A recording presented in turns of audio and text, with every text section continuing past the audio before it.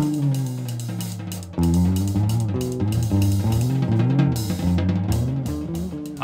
I'm Tommy Luginbill, and I'm the Director of Tech at the University of Maryland. Today I'm here with Matt Hayes from UPD. And before we get started today, I just want everyone to know that we are not medical experts. Uh, we are not claiming to be, but we do feel that we have some interesting information to share with everybody. So we're going to start out by talking about a UV sanitizing box that Mr. Hayes over here developed last summer. He's going to talk about some of the things that it can be used for and then maybe some ideas for those of us out there that are trying to come up with a solution to the outbreak of the coronavirus. So this was a UV sanitizing box. It was originally developed for a different purpose, but we're showing it here today. Um, it's a high intensity UV light source with a turntable inside that you could potentially use to sanitize things. And there is some research out of, uh, I believe, University of Nebraska on the use of UV light for sanitizing uh, face masks. You have to have UVC in a wavelength of about 165, 170 nanometers.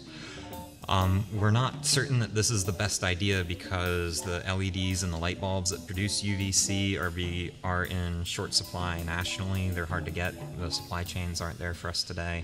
And there's also questions about the uh, depth of penetration of the UV light and how effective that is. We believe a more effective way is through heat. Based on published research, 60 minutes at 70 degrees Celsius will destroy the virus and not degrade filter capability. We do not recommend using a small oven, as this will likely damage the filter. We want to build a shipping container into a unit that can sanitize 160,000 masks per day. We want to release all designs publicly so they can be built around the country. We think we need about $50,000 to build the first one. We hope to have it up and running in a week. And remember, we are not medical professionals, but we are a group of passionate volunteers with expertise in a variety of different industries.